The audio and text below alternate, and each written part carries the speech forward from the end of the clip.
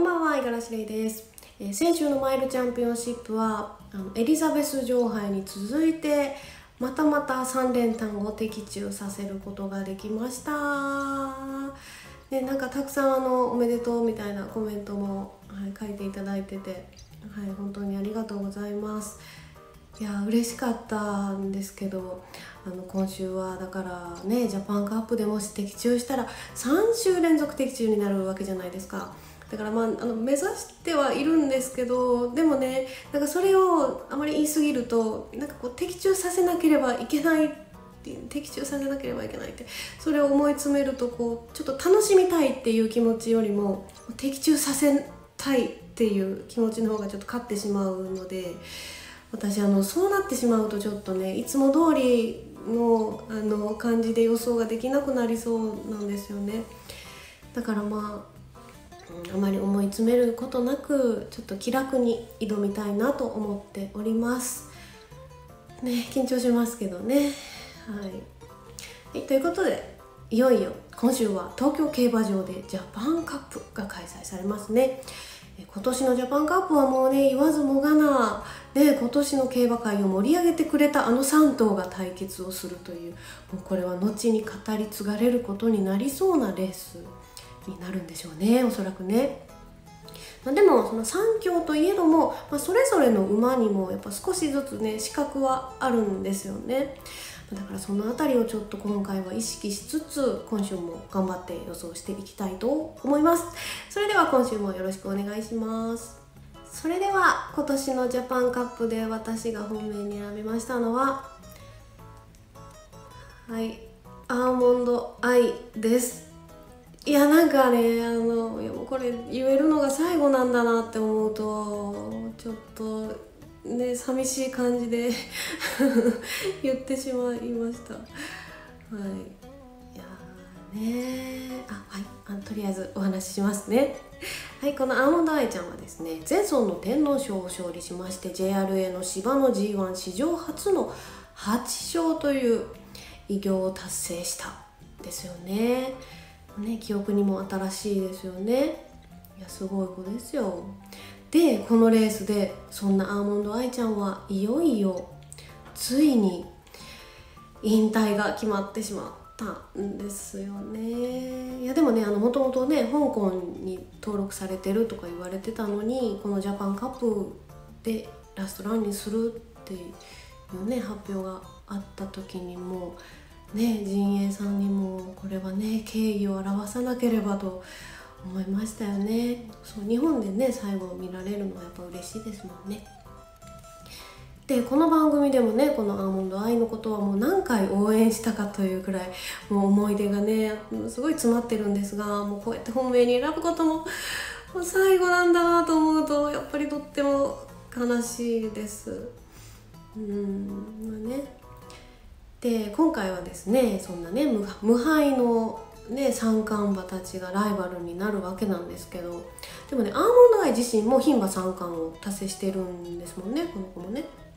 でしかもその後はジャパンカップをレコード勝ちするというもうねここはそんな思い出のレースでもありますよね。でもね今回はちょっとその天皇賞の後ということもあってレース感覚的にちょっとね詰まってますよね。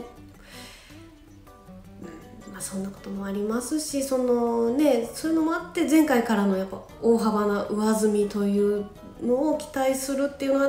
まあ、ちょっとね正直難しいかなとも思うんですがでもねまあでも最後のレースですのでここにねもう完璧に仕上げてきてくれるのであろうと思っていますしもうここはアーモンドアイちゃんのファンとしてもここはね最後のレースもう優秀の美を飾ってほしいなと思います。次に対抗に選びましたのはレアリングタクトです。はい、対抗にはこの、はい、史上初の無敗の三冠牝馬になりましたデアリングタクトを選びました。ただねちょっと新馬戦以来のボバとの対決ということになるんですよ実は。だからまあちょっと大丈夫なのかなと。そう今までねやっぱりあのほとんど女の子たちと戦ってきてたんですねこの新馬戦以外はね。だから男の子が混ざるレースでちょっと大丈夫かなっていうところとあとはエリザベス女王杯にねあのこのデアリングタクトの同世代の子たちが何とかね出走してたんですよね。なんですけどあのそうソフトフルートとかあのウィンマイティとかなんかあの子たちがね出てたんですけどもでもね一頭も馬券に絡むことがなかったんですよねだからそういうことを考えて、まあ、ちょっと世代のレベル的なものが、まあ、ちょっとどうなのかなっていう疑問が私はちょっとあるんですよね。まあ、でもねとはもう JRA の記録を塗り替えた子であるということはもう確かですし、まあ、ローテーションもすごくいいのでもうここはねせっかくのこのね53キロっていうね軽い筋量とあとはねこの子あのどんな体勢からでも追い上げてこれるという強みを生かして今回ちょっとね激走してもらいたいなと思います。まあね、新馬戦から多分ずっとこの筋量では走ったことがないはずなんですよね。何この軽さって、ね、もしかしたらびっくりするかもしれませんね。はい。だからちょっとね期待してみようと思います。続いて3番手に選びましたのははいここに選びました。コントレイルです。ちょっとねあの前走はねあの菊花賞でねあんまりこう得意な距離ではなさそうなね 3000m ものすごく長いですよね。3000ってね。ね、それを使った上さらにその菊花賞ではもう接戦の勝ち方をしたじゃないですか。ちょっとねヒヤヒヤしながらこうぶっちぎりの圧勝っていう感じじゃなかったでしょ。だからちょっとねどうしても反動みたいなものが気になってしまったりとか。あとはねちょっとね調教あの1週間前追い切りのデータを見てたんですけどそれがねなんか物足りないってすごい言われてるんですよ。なんか初めてあの合わせてあの走らせるあの調教で初めて遅れたんですって。そうだからちょっとね気にはなってるんですよね。なのでちょっとね3番手にまでちょっと下げてしまったんですがいやでもなんといってもこの子もね伝説を作ったものすごい子ですし、まあ、さらに今回はちょっと距離が短くなるということも、まあ、プラスになると思いますので、まあ、大崩れはすることはないだろうと信じております。次に選びましたのはカレン・ブーケドールですえカレン・ブケドールのお話はこの一つ前に公開されている動画がございますのでそちらを見ていただけたらいいなと思います。はい詳しくお話ししてますのでねよろしくお願いします。で次に選びましたのは奇跡です。天皇賞春以降はもうちょっとね調子を取り戻してね走ってた奇跡なんですが前走の天皇賞秋に出走して5着。うん。5着か、まあ、掲示板にはかろうじて乗ったけどっていう感じだったんですがでも、まあ、あの懸念であったこうゲートをねちょっとうまく出ることができてで最後は切れ味勝負になってしまったんでちょっとね残念だった。うんということなんですがでも今回はね持ち前の持久力を生かして踏ん張ってほしいなと思います。ねそろそろありますよね奇跡ね。で次に選びましたのはワールドプレミアです。はいワールドプレミアもうね11ヶ月の休養を経てもういよいよ始動となりましたね。いや待ってましたって感じなんですけどもうね久しぶりのレースということともうね11ヶ月も休んでたともう約1年ですよね。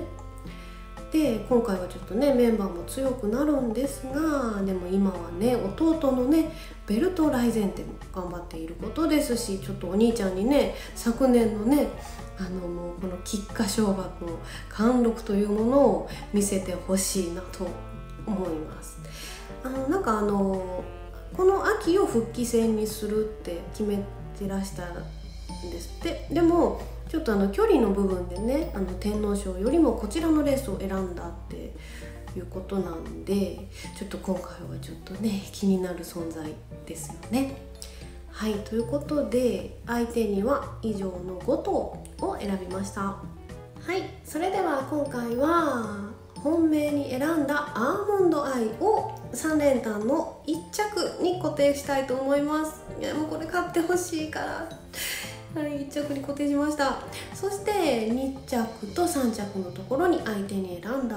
5頭をそれぞれ入れまして3連単合計20点で的中を狙いたいと思います。そしてですねやっぱ今回ね最後のレースになるということでアーモンドアイの単勝。はいもう単勝を買いたいなと思います。あとはあの今回ねちょっと日本にそういらっしゃいませっていう感じでね、こんな大変な時期の中ねよく来てくれましたということで「Way to Paris」はい、この子の短所副賞をちょっとねあの頑張って走り切ってねっていう気持ちを込めてこれも書いたいと思いますので全部でえ、ー、と123420点と短所と短所副賞。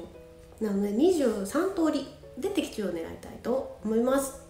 はいということでこの動画ではジャパンカップの予想をお届けいたしました。皆様はどんな予想になりましたでしょうか？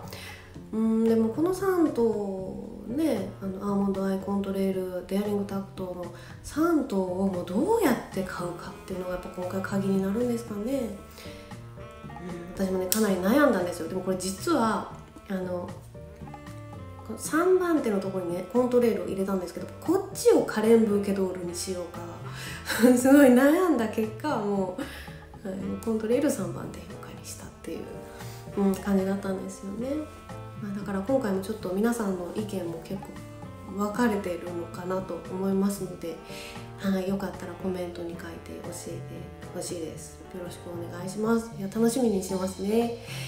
はい、あとはそうですね。あのさっき買い目のところでもお話ししたんですが「ウェイトゥパリス」ねはるばる日本にやってきてくれる「ウェイトゥパリスも」あの今すごいね大変な時期じゃないですか、まあ、でもこの時期だからっていうのとは別にね、海外の馬が日本にやってきてくれるっていうことは私はもう本当にいつもあの本当にありがとうと思っていてあのいつもあの単勝複勝なの「頑張れ」って書いた馬券があるじゃないですか。あれをね買いに行ってねウィンズに。買いに行ってあのノートに貼ってるんですよ。あの外国馬さんいらっしゃいノートっていうのがあって。